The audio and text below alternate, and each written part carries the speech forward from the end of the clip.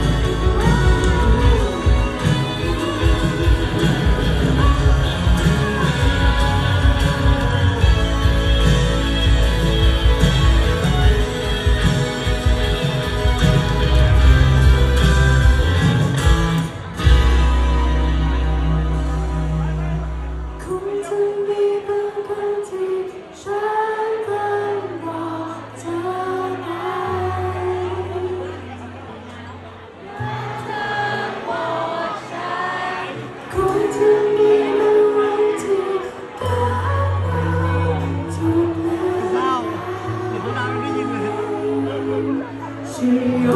抱的